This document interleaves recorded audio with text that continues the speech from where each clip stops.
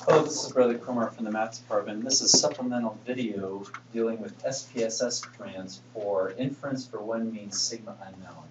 And these are the three commands that you should know in SPSS for one sample t or one means sigma unknown. First, we have to deal with the explore command, and you've seen that before, but I'll cover it. I'll cover it again anyways.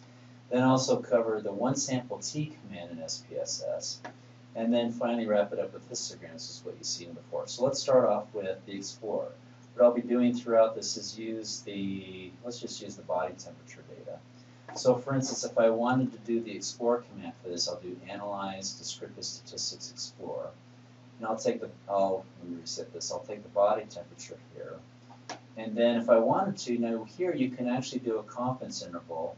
Um, and you can place the level of confidence here. I won't worry about that, so you can do that. Um, also, if you need to do percentiles, you can click on that as well. Just do that anyway. But then the main thing I want to mention here is with plots. If you click on plots, you can get a histogram here. But also the main thing is to get normality plots with tests. This is how you can get your QQ plot. So you click on continue, and then you click on OK, and then voila, you have a whole bunch of different information here. You have the descriptives here, including a confidence interval with a mean, a standard deviation. I clicked on percentile, so you can get the you can get the complete five-number summary here.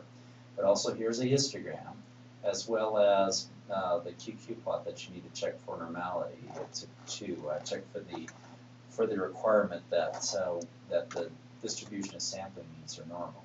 Okay, and then lastly here's a QQ plot. And the second thing I'm going to mention is how to do a one sample t-test. So let's go back to this here. Uh, if I'm going to do this, I'm going to go to Analyze, Compare Means, One Sample T. And so, let me reset this here. So what I'm going to do is I'm going to put in body temperature.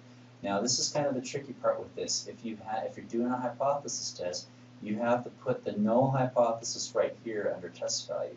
So I'm going to put in the, the null hypothesis that we did was 98.6. Okay.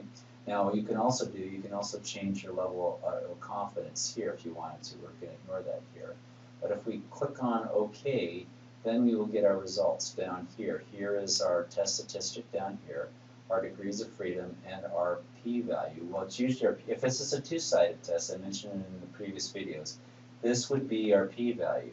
However, if this is a one-sided test, then we have to divide this number in half. Now, in this case, the number is close to zero, so close to zero divided by two is still close to zero. However, we can't really do anything to this right here. What we need to do is, is that if we're going to get a confidence interval, use the one sample t-test for a confidence interval, or the one sample t command, in SPSS to do a confidence interval. Then what we do is we put this at zero, test value at zero, and then run it, and then we can get a confidence interval here. So in summary, for the one sample t, you have to use, to do the hypothesis test, you have to put in the null hypothesis here, but if you're doing a confidence interval, you leave this number at zero to get a confidence interval, okay? And then lastly, the last item to, to, that you can use for uh, one mean, or inference for one mean sigma unknown is a histogram. And this is a review, but we will do it anyway. And so the body temperature data, again, we'll do graphs, legacy, dialog, histogram. And then you just take the body temperature, put it in variable, uh, the variable box, click on OK, and then you see your results. And that is the histogram. And that concludes the SPSS video for dealing with uh, the subject of inference for one mean sigma unknown.